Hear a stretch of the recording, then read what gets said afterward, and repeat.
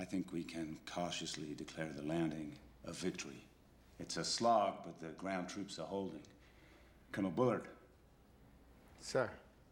Your boys chalked eight kills in the air, 63 aircraft destroyed on the ground. No losses in their first wave. Outstanding. Pass along my congratulations. Thank you, sir. Action reports and assessments by 1500.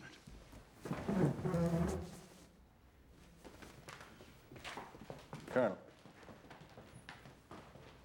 eight German fighters or 80 German fighters, it still doesn't change what I think of you and your boys.